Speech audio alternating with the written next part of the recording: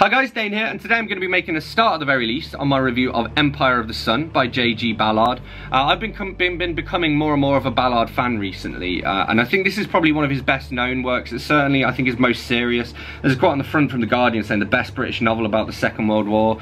I do like war books. Um, I'm currently, at the time of filming, I'm, I'm like 80 pages in or something. So I'm going to do this almost like a reading vlog. Uh, we'll see how we get along. But I'm going to start by reading you the blurb. Then I'm going to go through and check out some tabs. And then I'll share my overall thoughts and rating at the end. So, Dane reads. Based on J.G. Ballard's own childhood, Empire of the Sun is the extraordinary account of a boy's life in Japanese-occupied wartime Shanghai. A mesmerizing and hypnotically compelling novel of war, of starvation and survival, of internment camps and death marches, which blends searing honesty with an almost hallucinatory vision of a world thrown utterly out of joint. Shortlisted for the Booker Prize and the winner of both the Guardian Fiction Prize and the James Tait Black Memorial Prize, Empire of the Sun was later filmed by Steven Spielberg. Rooted as it is in the author's own disturbing experience of war in our time. It is one of a handful of novels by which the 20th century will not only be remembered, but judged. So it's very well written. So far I haven't had a huge amount that I've wanted to tab out, but there are a few bits here and there. Just this great line here, it was not the anger of the Japanese that most disturbed Jim, but their patience.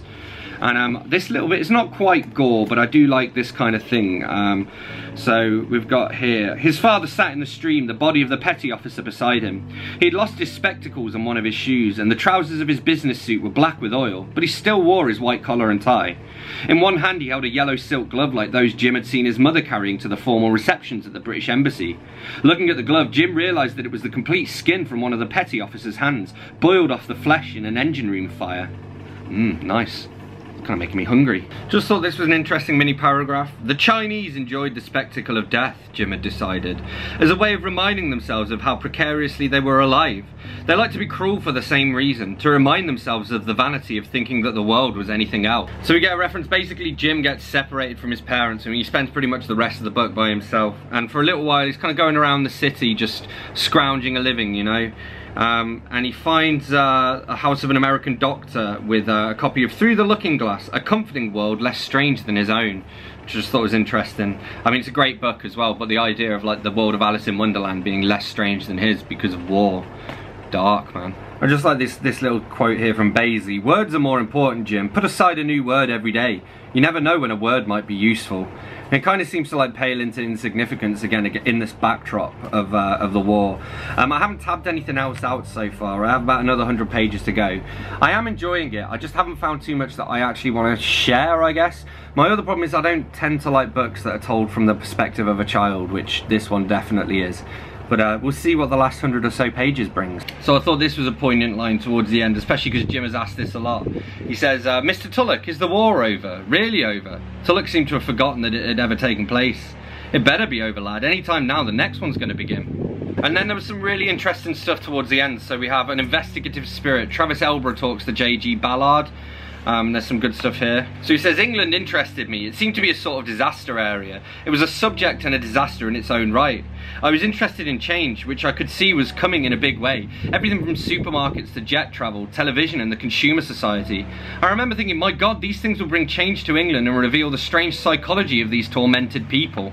And he talked about how, because in real life he was in a camp, but he was there with his parents, and he chose to give Jim kind of a life outside of his parents. He says, people would think that if the parents were in the camp as well, then they would be able to protect, protect Jim and that he wouldn't be in any danger. And that they'd never be any danger from the Japanese, or that he would never be in any danger from himself, or from his own growing imagination. I felt that this just wasn't true, and so I decided to make him a sort of war orphan.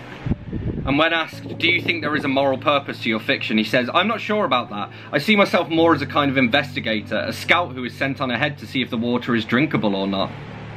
He also lists his top 10 books, which I want to share out for you here.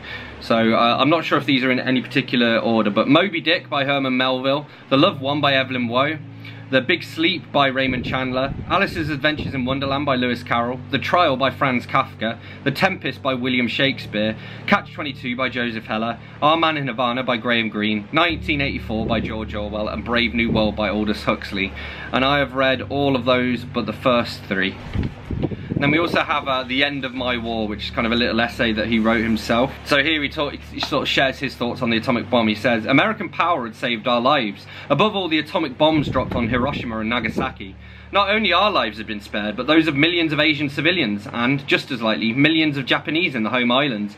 I find wholly baffling the widespread belief today that the dropping of the Hiroshima and Nagasaki bombs was an immoral act, even possibly a war crime to rank with Nazi genocide. So yeah, overall, Empire of the Sun by J.G. Ballard. My main problem with it was just that it was told from the child's point of view, which I've just never enjoyed in fiction and I just didn't enjoy here. Uh, I do appreciate what the book was trying to set out. I don't know if I agree with The Guardian that it's the best British novel about the Second World War, even though I can't think of one off the top of my head that's better than it. You know, I'm sure there are them out there though.